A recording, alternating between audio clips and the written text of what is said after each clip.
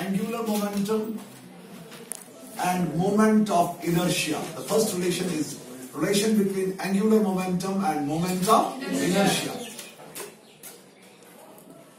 We will write down this angular momentum in terms of moment of inertia. See how we will discuss this. Suppose we have a particle,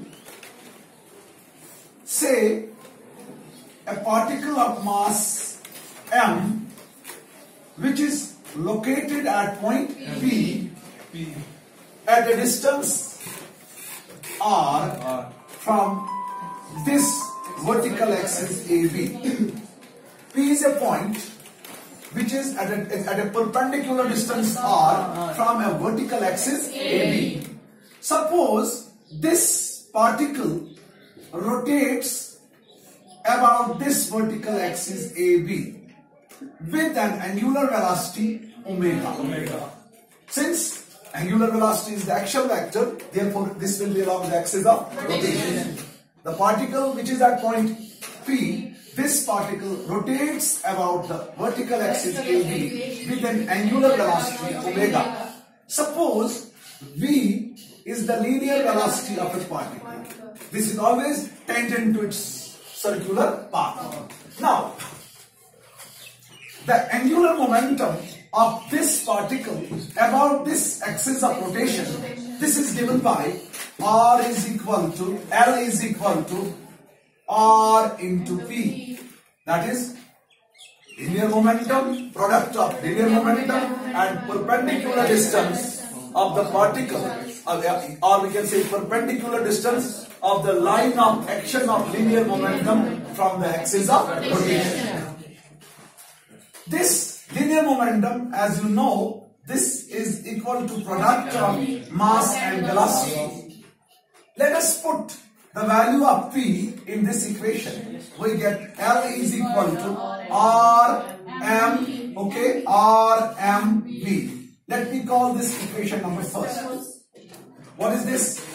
Perpendicular distance of the line of action of linear momentum from the axis of rotation. What is m? What is the mass of the particle? What is v? The velocity of the particle. We know that this linear velocity is related to the angular velocity by an expression v is equal to r omega. Let us put the value of v in this equation. We get L is equal to r m into r omega. We can write down just like this this is m r square omega. Now, this m r square, this is the moment of inertia of this particle about the axis AB. But omega, omega. But L M R square is equal to I. What is I? I is the moment of inertia of particle about the axis of rotation. About the axis of rotation. We will put the value of M R square in this equation. We get L is equal to I omega. L is equal to I हम लोगों को निकला L is equal to I omega this is the required expression clear और this is the required relation between angular momentum and momentum from this equation we can also define the moment of inertia again if omega is equal to one that means if the particle is rotating about the axis A B with angular velocity, then equation second becomes L is equal to I into 1 or we can write I is equal to 1. I is equal to M. So from this equation we can define moment of inertia.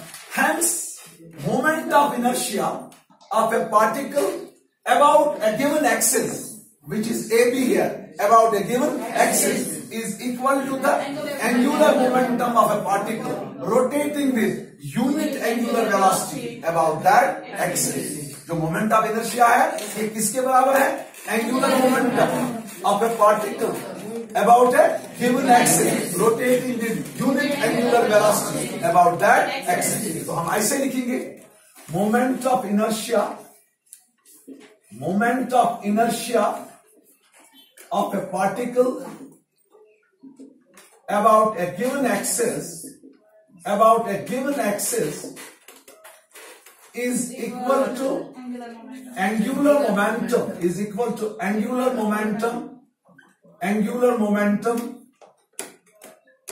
of a particle rotating with shabash rotating with what angular velocity? Unit angular velocity. Rotating with unit angular velocity. Unit angular velocity about that axis rotating with unit angular velocity about that axis so we find an important relation between Angular angular momentum momentum and momentum moment of inertia. L is equal to I omega.